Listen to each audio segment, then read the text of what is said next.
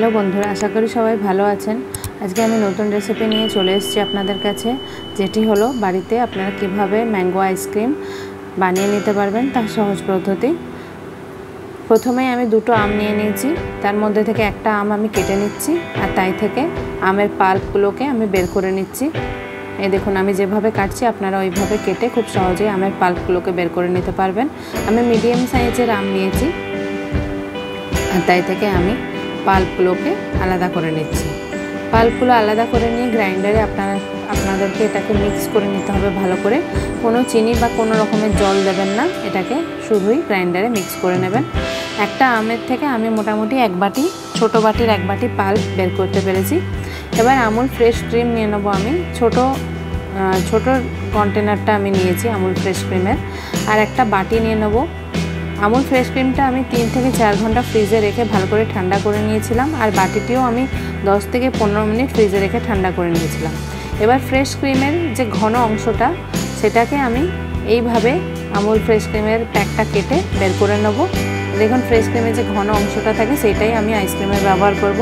কোনোভাবেই যে পাতলা অংশটা বা দুধটা থাকে সেটা আমি ব্যবহার করব না, যেটা গাঢ় অংশ থাকে সেটাকে আমি ব্যবহার করব। এবার আমি একটা বাটিতে বরফ নিয়ে নিয়েছি। ওই বরফের মধ্যে আমি ফ্রেশ ক্রিম রাখা বাটিটিকে বসিয়ে দিচ্ছি। এবার ওটাকে আমি হ্যান্ড ইলেকট্রিক বেটারের সাহায্যে ওটাকে কিছুক্ষণ পাঁচ থেকে সাত মিনিট বিট করে নিচ্ছি। আপনাদের কাছে যদি ইলেকট্রিক বিটার না থেকে থাকে, তবে আপনারা বাড়িতে থাকা হ্যান্ড উইস্কার বা ডিম ফেটা দিয়ে আপনারা ভালো করেই ওটাকে মিক্স করে নিতে পারবেন, তাতে কিন্তু কোনো অসুবিধা নেই। এবার আমি ওইতে মিশিয়ে দিচ্ছি কনডেন্স মিল্ক কনডেন্স মিল্কটা আমি বাড়িতে তৈরি করেছি। রেসিপি যদি আপনাদের লাগে, তবে অবশ্যই আমাকে কমেন্ট বক্সে জানাবেন। কনডেন্স মিল্ক মেশানোর পরে আমি আরও পাঁচ মিনিট মতন ওটাকে বিট করে নিয়েছিলাম। তারপরে আমি দু চামচ করে পাল্পগুলো আমের করে রাখা পাল্পগুলোকে মেশাচ্ছি। আর ক্রিমের সঙ্গে ওটাকে ভালো করে মিক্স করে নিচ্ছি। একসঙ্গে পুরোটা মেশাবেন না। দু চামচ দু চামচ করে দিয়ে ওটাকে হালকা করে ক্রিমের সঙ্গে ভালো করে মিক্স করে নেবেন। যেভাবে আমি মিক্স করছি, ওইভাবেই আপনারা মিক্স করে নেবেন। আইসক্রিম বানানোর সময় একটা জিনিস সবসময় খেয়াল রাখবেন, আপনারা যা যা ব্যবহার করবেন সেটা যেন ঠান্ডা হয়। কোনোভাবে কোনো জিনিস যেন গরম না হয় বা রুম টেম্পারেচারে না থাকে, প্রত্যেকটা জিনিসই যেন খুব ভালো ঠান্ডা হয়ে থাকে। আমার মিক্স করা হয়ে গেছে। এবার আমি এটাকে কিছুক্ষণের জন্য ডিপ ফ্রিজে রেখে দেবো।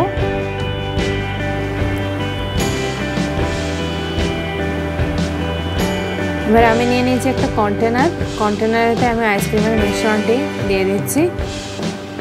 আমি অর্ধেক মিশ্রণ দিয়েছি। তারপরে আমার যে আরেকটি আম ছিল, সেটাকে আমি এইভাবে টুকরো করে কেটে নিয়েছিলাম। এবার মাঝখানে আমি আমগুলোকে এইভাবে টুকরোগুলোকে আমগুলোকে দিয়ে দিচ্ছি। আর তারপরে আমি আবার আইসক্রিমটা ঢেলে দিচ্ছি, দেখুন। আইসক্রিমের মিশ্রণটা ঢেলে দিচ্ছি এবং ওপরে আমি আরও কিছু আমের টুকরো ছড়িয়ে দিচ্ছি।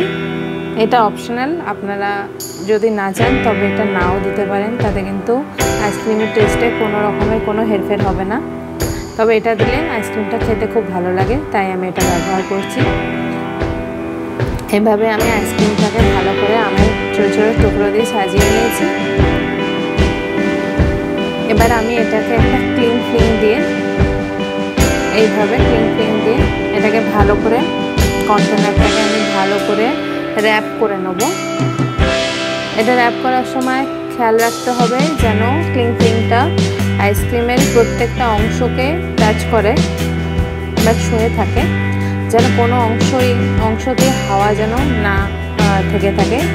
হাওয়া যদি যেখানে এয়ার বা হাওয়া থাকবে সেখানে কিন্তু আইস ক্রিস্টাল হওয়ার খুব চান্স থাকে, তাই এটাকে ভালো করে আপনারা চেষ্টা করবেন যেন একটা এয়ার টাইট কন্টেনার নিতে অথবা আপনারা ক্লিং ফিং দিয়ে এইভাবেও এটাকে ইউজ করে নিতে পারেন। এবার ওভারনাইট সারা রাত আমি রেখে দিয়েছিলাম এটাকে ডিপ ফ্রিজে এবার আমার আইসক্রিমটা পুরোপুরি জমে গেছে। এবার আমি এটাকে ভালোভাবে স্কুপ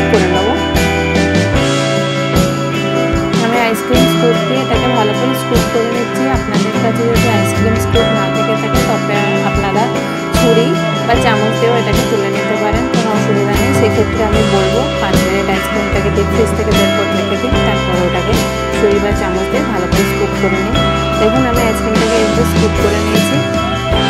আইসক্রিমটা একদম দোকানের মতন দেখতে হয়েছে, তবে দোকানের থেকে অনেক হেলদি কারণ বেশিরভাগ আইসক্রিম কিন্তু ফ্রোজেন ফ্রোজেন ডিজার্ট হিসাবে থাকে।